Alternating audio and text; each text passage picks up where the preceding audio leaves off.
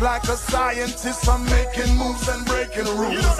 Unstoppable, unbreakable, it's all up in my attitude. Who said we can't elevate to the highest altitude? Got the noble eyes on the noble prize. Don't you block my view? Call me the express. Me a take diligence to the excess. Say, Chris, me no bother with the regret. There's something out there me no see yet. My dream don't be lacking at the toilet. Can give them it live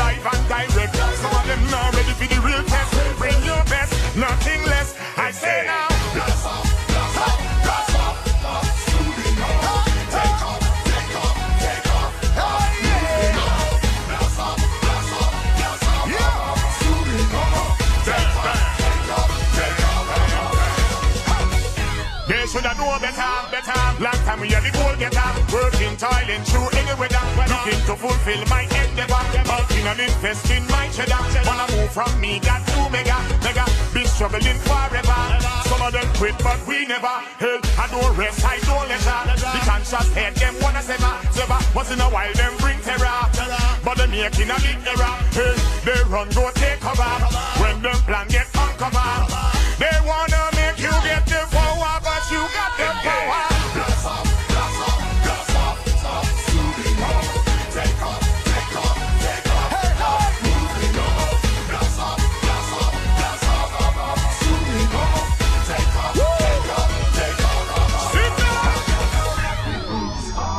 Yeah, yeah, it's on. Yeah, yeah, it's on. I got my GPS on, man. Yeah, yeah, yeah. Wow. And obviously, um, you skipper the team in the last friendly international against St. Kitts Nevis was a, a good victory for us. We need to needed to come after they equalized two all. We had to, to make it three two. Um, what was the test like for the guys at, the, at that stage? It was a it was a good game and skipping any team is um, also a good thing for me personally. Um, although I haven't been playing any game in the league yet because of the situation, but the game across there was a very intense game. Um, we wasn't getting our, the referee decisions to go our way because everybody playing at home does get the referee um, to go on them side. Um, started off nice. We went two up. Um, unfortunately, we, we, as coach mentioned in the dressing room, do not start slow, which we I think we did in the back. Um, we collect two, and um, it was good to see we get the extra goal to, to come with that victory. All right. Now this is more, we are approaching the final stretch before what is again a crucial World Cup qualifier for us. Um, you know we haven't been getting as much matches as we would like. The sessions have been a little bit, you know, from time to time as well because of how the, league is running here. How are you seeing the preparations now in the build-up? How important it is for us to keep on working ahead of the 12th? Yeah, the build up um, um, for the 12th of August um, is not going our way in sense um, much practice game and quality of practice games too. Um, I think we should been getting a, a kind of camp like how we was in Argentina and the guys get fit off for that.